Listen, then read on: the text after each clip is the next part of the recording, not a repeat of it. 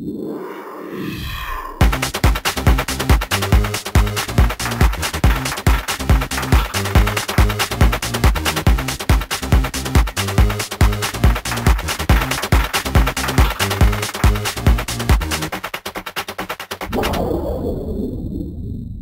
wunderschönen guten Abend und herzlich willkommen zum Daily Overview am Dienstagabend.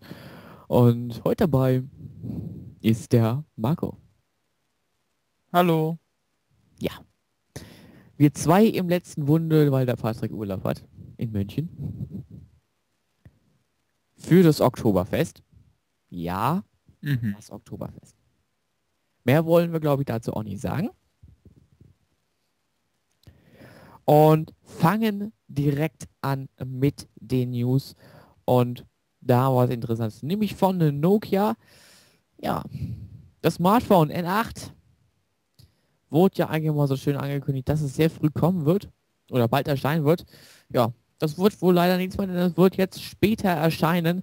Nämlich auf der eigenen Messe wurde nämlich nicht erwähnt, dass das neue Flaggschiff mit Symbian 3 anstatt im Oktober erst im November erscheinen wird.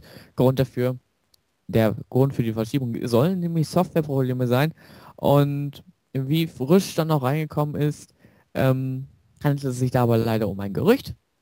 Denn Nokia dementiert diese Verschiebung, demnach kommt in Deutschland das N8 geplant im Oktober raus. Und in diesem Sinne hätten wir Genau. uns eigentlich diese News auch sparen können, aber wir haben es jetzt alle genau informiert.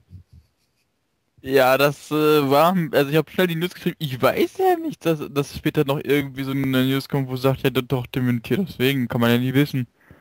Ja, da gab es doch letztens auch eine News, ähm, dass Facebook ja auch ihr eigenes Handy herausbringen möchte, ne? Äh, ja, genau, Facebook OS. Und dann haben die gesagt, nee, lieber nicht. Die wollen sich, die haben gesagt, die wollen sich eher auf so Social Networking auf äh, Smartphones als konzent mehr konzentrieren, aber nicht äh, ein eigenes OS rausbringen oder geschweige denn ein eigenes Telefon. Ja, genau. Deshalb habe ich habe mir auch gedacht, schreibst du diese News Facebook Handy? Ich so, nee, wart mal ab, nächste Meldung. Ja, dementiert, es gibt's nicht. Gut, danke. Naja, bei der News war ich, jetzt, war ich jetzt nicht extra ab, weil du weißt ja nie, ob es jetzt stimmt oder nicht. Genau. Wenn es jetzt stimmen würde und ich habe ja, abgewartet, dann ist die News irgendwann mal nicht mehr aktuell. Weil Dementierung könnte eigentlich immer noch eine Woche später kommen, dann ist das für mich eh doof. Ja. Woche später, Monat später, ein Jahr später. Also ist alles möglich. Und dann denkt man, ja, hm, hm. Genau. Hm. Das denke ich auch. Weiter geht's. ja, genau. Patrick ist ja in München und was auch in München ist, ähm, ist nämlich eine ein Event von Nintendo, glaube ich mal. Doch, ja. Ähm, Ja. Es geht äh, um das Spiel Wii Party, was am 8. Oktober erscheinen wird. Ähm, es gibt viele Minispiele, die da mitgeliefert werden und dazu gibt es noch ein Video davon, von diesem Event. Ähm, ja, könnt ihr euch bei uns in der News anschauen. Genau. Von den Kollegen Game Reactor. Ja, die machen ja auch ab und zu mal sehr schöne Dinge, ne? Nee, das war Game Trust. Hier steht Game Kollege Trust? von Game Trust. Oh, sorry. Dann war es Game Trust. Verzeihung, liebe Kollegen. Verzeihung. Ich habe immer die anderen in der Arbeit, weil ich von den anderen auch noch ab und zu mal ein paar Meldungen kriege. Ja. So groß und so klein ist die Welt. Wie klein auch die Welt ist, das ist nämlich für Nexus. Ich hoffe, ich habe es richtig. Nexus. Äh, warte mal, wo, wo, wer war der warte? Nexus heißt das. Nexus. Genau. Nexus. Und viele kennen das Spiel tatsächlich auch, denn es kam schon 2005 heraus für den PC und so im Jahr 2005 wurde dann auch gesagt, dass es eine PS3-Portierung geben wird und nun ist es tatsächlich endlich soweit. Auf der PAX 2010 wurde dazu ein Gameplay-Video nämlich veröffentlicht, obwohl die PAX schon ein bisschen lange her ist. Und ja, das wollen wir natürlich nicht vorenthalten, das Video. Schaut's euch an. Der schöne Shooter. Da freuen sich bestimmt einige wieder. Und ganz wichtig, das Spiel ist natürlich über das PlayStation Network dann zu erhält erhältlich. So rum. Genau. Es wird dann kostenlos sein für PS3 oder nicht? Ähm, da steht nicht genau fest, aber ich denke mir mal, ich glaube, es wird nicht kostenlos sein. Naja, wäre so wäre ein bisschen unfair, ne, wenn die PC-User das umsonst bekommen und PS3-User Ja. müssen bezahlen dafür. Aber Vor, um, vor allem, weil auf der PS3, PS3, also auf Konsolen allgemein, so Shooter und so, das ist ein bisschen benachteiligt und deswegen. Äh, naja. Genau. Ich glaube, lass uns da erstmal lieber ein bisschen abwarten, was genau da noch passiert. Denn der Release steht auch noch nicht mal genau fest. Was aber äh, feststeht, das ist der Release zu Gran Turismo 5, das am Anfang November erscheinen wird.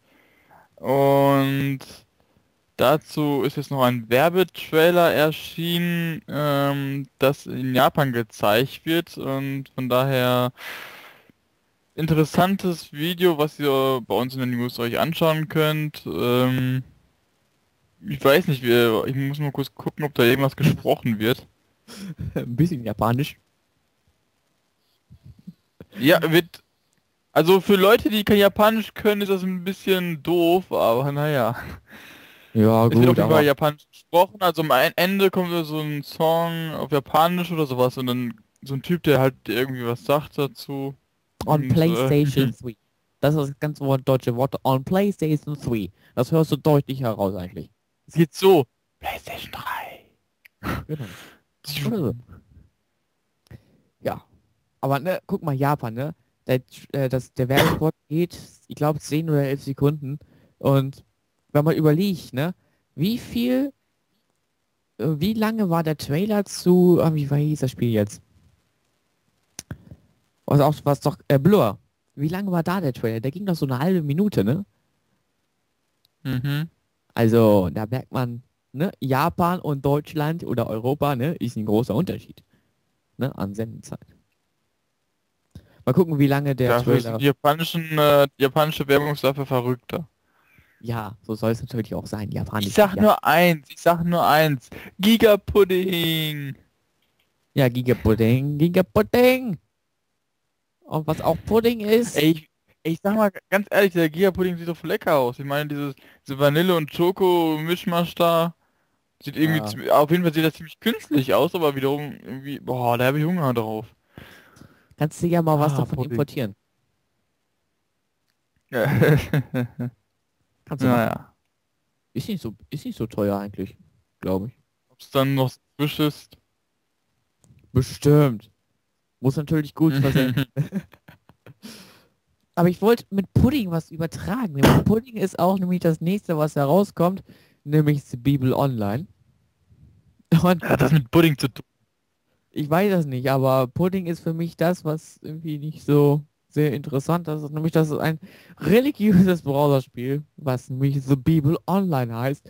Und 2500 Christen haben sich dort nämlich schon in der, auf der Bet in der Beta-Phase registriert und in der man Abrahams Stamm nach äh, Kanaan führt. Und ja, Darf ich mal richtig aussprechen? Abrahams Stamm nach Kanaan. Das ist, äh, wer ein bisschen so aus der Bibel kennt, also Abraham ist der pff, ganz, also ich weiß nicht, ob ihr diese eh, ganzen Abel und weiß nicht, wer alles danach kommt, also das ist irgendwie der Urvater von allem Möglichen oder so, von, ich glaube von Jesus sogar, keine Ahnung, irgendwie ist das der, der Gründer von Israel oder irgendwie sowas und sein Stamm muss halt nach Kanaan, das ist eigentlich das Gebiet, was heutzutage Israel ist. mh.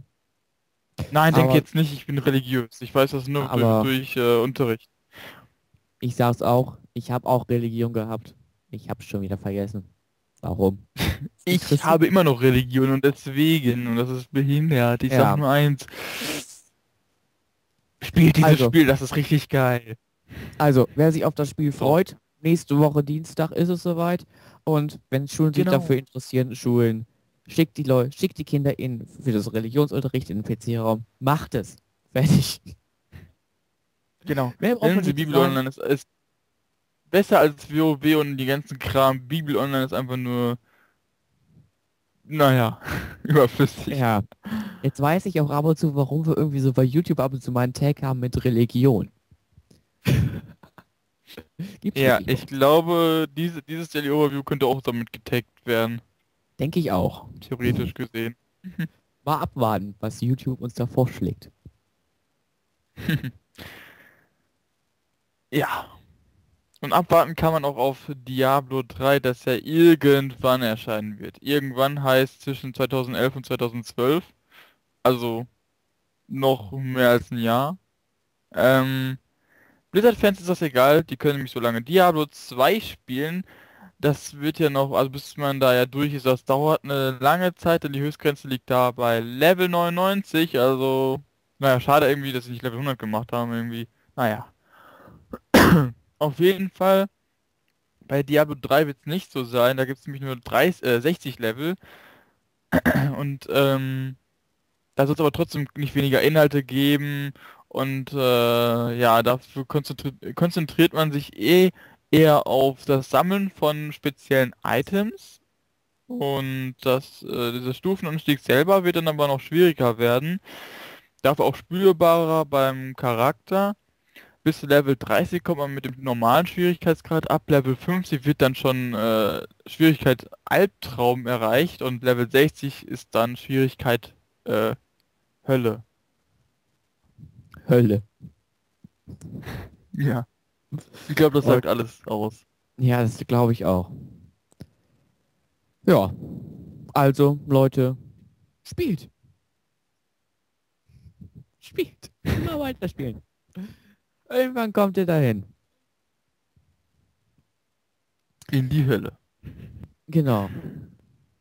Kommt ja auch, wenn ihr gesündigt habt, laut, laut der Kirche, ne? Aber äh, so viel zur Bibel Online. Ja, aber... Ich ne? glaube, dass Bibel, die Bibel Online wird das Gegenteil von Diablo 3 werden. Die Bibel Online ist sozusagen das Gute von dir, also das gute Diablo 3. Okay, gut. Aber ich denke mal, es kommen irgendwann noch ein paar andere Browserspiele raus. Die Hölle. Na, also es werden bestimmt. Ich würde übrigens, ich würde übrigens sowas nicht spielen, aber ja. Naja. Aber das sieht, das sieht man doch, ne? Wenn man jetzt zum Beispiel ähm, Astragon, glaube ich, war das, mal sich anschaut, ne? Die Simulatoren. Oh, ja. Astragon, ey, da kann ich Stunden erzählen, weißt du? Ich kann auch erzählen, wo ich die, wo ich mit voller Überzeugung eine Demo runtergeladen habe und dachte, das Spiel wird doch bestimmt sicher geil, weil das das irgendwie überraschenderweise, dass, dass das bei Landwirtschafts Landwirtschaftssimulator 2009 war das noch, war irgendwie Platz 1 der Charts und so. Irgendwie komischerweise, ich kann ich kann es bis heute nicht verstehen, wieso. Äh, wahrscheinlich aus Scherz haben viele gedacht, ich kauf's einfach mal, weil einfach nur um bescheuert zu sein. Ähm, ähm. Jetzt weiß ich auch, warum wirklich das Spiel so beliebt ist und warum wahrscheinlich genau aus diesem Grund, wenn das Spiel ist einfach nur boah, du kannst es, das ist einfach, das kannst du nicht spielen. Das ist du steuerst so einen scheiß Wagen und der, der, der, der, dieses Gameplay ist einfach nur behindert. Das, da kann man bessere Simulatoren rausmachen. Da kann man schon selbst aus Landwirtschaftssimulatoren besser was rausholen. Also, nee. Ja, ich glaube, wenn nicht langweilig genug ist, weißt du, wenn es schon nicht langweilig genug ist, drei Stunden lang gerade auszufahren und mehr und äh, Heu abzuernten, nee, das ist noch eine Steuernummer richtig schön schwierig, damit es richtig blöde wird, dass du drei Stunden lang gerade ausfahren äh, wirst und dann noch irgendwie achten musst, dass du nicht umkippst. Mhm. Also, Aber ich denke mir mal eins, Spannung ist da sicherlich Leute, nicht vorhanden. Warum sich die Leute das gekauft haben, ist, ist wahrscheinlich so ein Grund, weil sie sich gedacht haben, oh, gucke mal, auf dem Cover sieht das Spiel so geil aus, so wird es auch später sein. Als auf dem Cover sieht das Spiel geil aus, da habe ich schon bessere Cover erlebt. Ja gut, okay. Aber, ne, die Leute kaufen... Wahrscheinlich wegen der Systemanforderung, weißt du, die Systemanforderung, erstmal dachte ich, oh, Simulatoren. Würde ich nicht sagen. Systemanforderungen sind ja immer unterschiedlich. Bei, beim Flight Simulator ist es zum Beispiel übertrieben hoch, während bei normalen anderen Simulatoren eigentlich eher in mäßigen Bereich ist. Bei Landwirtschaftssimulator äh, ist das so, ähm, wenn man es heute vergleicht, äh, so für, ist, sag ich mal, die 2008er oder 2007 oder auch für Version noch immer, für heutige Rechner eigentlich niedrig. Aber im Vergleich, wenn es rausgekommen ist, ist das eigentlich schon als Simulator mit der Grafik zu hoch. Ja.